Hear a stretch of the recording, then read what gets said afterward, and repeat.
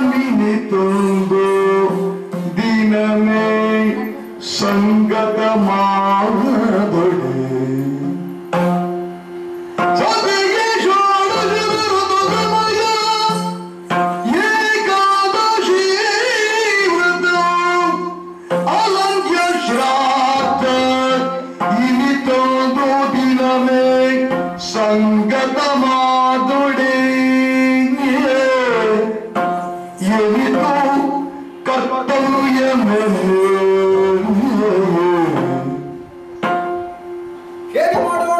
ಹೇಗೆ ಮಾಡೋಣ ಪೈತೃಕದ ಶೇಷಾನ ಆಕ್ರಳಿವೆ.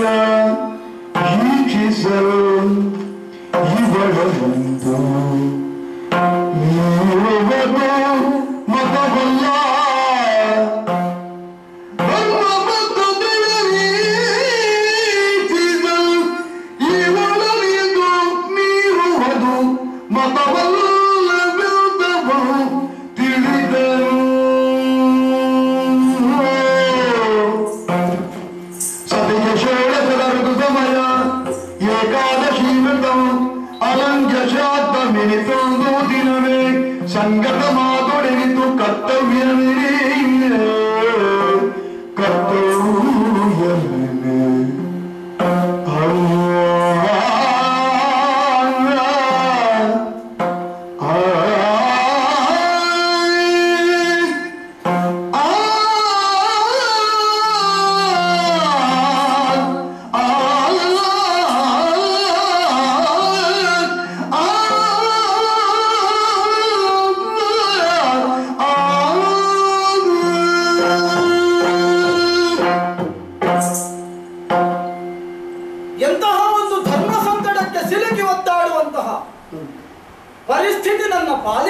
ಬಂತಲ್ಲ ಇಲ್ಲಿ ಪ್ರಭಾವ.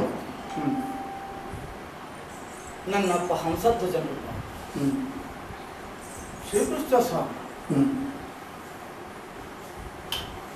ಯಾವತ್ತು ಯಾರೂ ಕೂಡ ನಮ್ಮ ಅಂತರಂಗದಲ್ಲಿ ಬಯಸಿದ್ದನ್ನು ಇಲ್ಲ ಎಂದವರಲ್ಲವೇ ಅಲ್ಲ. ಅಪ್ಪಯ್ಯ. ಕಾಲ ಕಾಲಕ್ಕೆ ನಮಗೇನು ಬೇಕು ಎನ್ನುವುದನ್ನು ನಾವು ಆಶಿಸುವುದಕ್ಕೆ ಮೊದಲೇ ಪ್ರಸಾದಿಸಿದವರು. ಶ್ರೀಕೃಷ್ಣ ಪರಮಾತ್ಮನಾದರೂ ಅಷ್ಟೇ. ಇಂಗಿತವನ್ನು ಪೂಜಾ ಮಂದಿರದಲ್ಲಿ ಅವನ ಮುಂದೆ ನಾವು ಹೇಳಿದರೆ ಸಾಕು ಒದಗಿಸಿಕೊಡುತ್ತಿದ್ದರು ನನ್ನ ಅಂತರಂಗವನ್ನು ಅರಿತು ನನಗೆ ಬೇಕಾದುದನ್ನು ಕಾಲಕಾಲಕ್ಕೆ ಸಿದ್ಧಪಡಿಸುತ್ತಿರುವವಳು ನನ್ನ ಮನದಲ್ಲೇ ಆದಂತಹ ಪ್ರಭಾವ. ನಮಗೆ ಸಕಾಲಕ್ಕೆ ಒದಗಿ ಬಂದವರನ್ನು ಯಾವ ಕಾಲದಲ್ಲಿಯೂ ನಾವು ಇಲ್ಲ ಅನ್ನಬೂರಬಾರದು ಒಲ್ಲೆ ಎನ್ನಬೂರ ಏನು ಮಾಡೋಣ ಈ ಪರಿಸ್ಥಿತಿ ಈತನ ಆಜ್ಞೆ ಎನ್ನುವುದು ಪಿತೃಶ್ರಾದ್ದಕ್ಕೆ ಸಮಾನವಾದ. ಶ್ರೀಕೃಷ್ಣನ ದರ್ಶನದ ಸೌಭಾಗ್ಯ ಅಂದ್ರೆ ನಮಗೆಲ್ಲರಿಗೂ ಅದು ಏಕಾದಶಿ. ಪಿತೃಶ್ರಾದ್ದ ಅಂದರೆ ಏನು? ಶ್ರಾದ್ದೆಯ ನಿಯಮಾವಳಿಗಳನ್ನು ಚೆನ್ನಾಗಿ ಅರ್ಥವಿಸಿಕೊಂಡು ನಮ್ಮ ಮನೆ ಅಂಗಳದಲ್ಲಿ ನೂರೋ ಇನ್ನೂರೋ ಮಂದಿಗೆ ನಾವು ಕಷ್ಟಪಟ್ಟು ದುಡಿದ ಬೆವರು ಸುರಿಸಿದ ಭತ್ತವನ್ನು ಬೇಯಿಸಿ, ಅನ್ನವನ್ನು ಉಣಬಡಿಸಿ, ಅವರಿಗೆಲ್ಲರಿಗೂ ತೃಪ್ತಿಯನ್ನು ಒದಗಿಸಿ. ಪಿತೃಶ್ರಾದ್ದ ಎನ್ನುವುದು ನಮ್ಮ ಮನೆಯಲ್ಲಿಯೇ ನಾವು ನಡೆಸಬೇಕು. ಬೇರೊಬ್ಬನನ್ನ ಮಹಡಿಯಲ್ಲಿಯೋ ನಾವು ನಡೆಸಿದರೆ ಆ ಪುಣ್ಯದ ಸತ್ವವೆಲ್ಲ ಅವನಿಗೇ ಲಭಿಸುತ್ತದೆ. ಹಾಗಾದರೆ ಹಿಂದೂ ಪಿತನ ಆಜ್ಞೆಯಾದದ್ದು ನಮ್ಮ ಮನೆಯಲ್ಲಿ. ಅದನ್ನು ನೆರವೇರಿಸಬೇಕಾದದ್ದು ನಾವು ನಮ್ಮ ಮನೆಯಲ್ಲಿ. ಈಕೆ ಬಯಕೆ ಅದನ್ನು ನೆರ- ನೆರವೇರಿಸುವಲ್ಲಿ ಅಡ್ಡಿಯಾಗುತ್ತದೆ ಅಂತ ಆದರೆ ಅದನ್ನು ನಡೆಸುವುದು ಈಕೆಯ ಮನದಿಂಗಿತವನ್ನು ಪೂರೈಸುವುದು. ಶ್ರದ್ಧೆಯಿಂದ ಮಾಡಬೇಕಾದ ಶ್ರಾದ್ದ ಈ ಕಾಲದಲ್ಲಿಯೇ ಏಕಾದಶಿ ವ್ರತವು ವ್ರತಕ್ಕೆ ಸಮಾನವಾದಂತಹ ಶ್ರೀಕೃಷ್ಣ ಸ್ವಾಮಿಯ ದರ್ಶನ ಒದಗಿ ಬಂತು. ಪಿತೃಶ್ರಾದ್ದದಂದು ನಾವು ಅನ್ನವನ್ನು ಉಣ್ಣದೇ ಇಡಕೂಡದು ಹಾಗೆಂದು ಏಕಾದಶಿಯಂದು ಒಂದು ತುತ್ತು ಅನ್ನವನ್ನು ಉಣ್ಣುವ ಹಾಗಲ್ಲ, ಉಪವಾಸವನ್ನೇ ಆಚರಿಸಬೇಕು. ಉಣ್ಣದೇ ಇರುವುದೇ ಪ್ರಧಾನವಲ್ಲ. ದೇವರ ಮಂದಿರದಲ್ಲಿ ಬಳಿಯಲ್ಲಿದ್ದುಕೊಂಡೇ ಆತನ ಭಜನೆಯನ್ನು ಮಾಡಬೇಕಾದಂತಹ ಕಾಲ.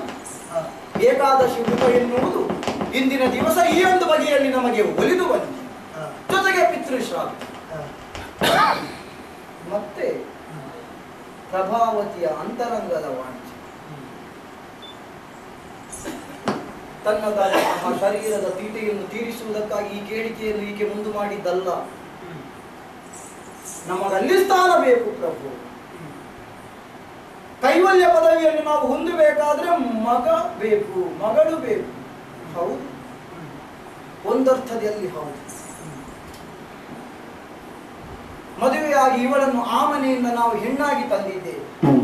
ಆ ಋಣವನ್ನು ನಾವು ತೀರಿಸಬೇಕಾದರೆ ನಾವು ಹೆಣ್ಣು ಮಗಳಿಗೆ ಜನ್ಮವನ್ನಿತ್ತು ಅವಳ ಮದುವೆಯ ಸಂಭ್ರಮವನ್ನು ನೋಡಬೇಕು. ಆಗ ಆ ಋಣ ಮುಕ್ತಲಾಗುತ್ತೆ.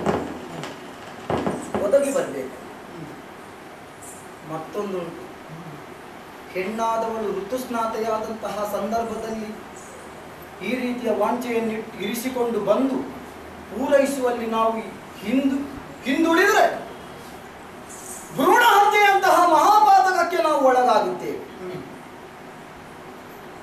ಪಂಚಮಹಾಪಾತಕಗಳಲ್ಲಿ ಅದೂ ಒಂದಲ್ಲ.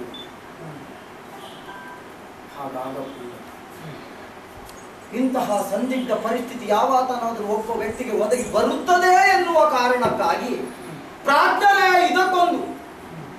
ಪರಿಹಾರೋಪಾಯವನ್ನು ಸೂಚಿಸಿದ್ದ. ಪಿತೃಶಾಬ್ದದ್ದು ಏಕಾದಶಿಯು ಬಂದರೆ ಪಿತನಿಗೆ ಅರ್ಪಿಸಬೇಕಾದಂತಹ ಶ್ರಾದ್ದದ ಅನ್ನವನ್ನು ಆಘ್ರಾಣಿಸಿದ್ರೆ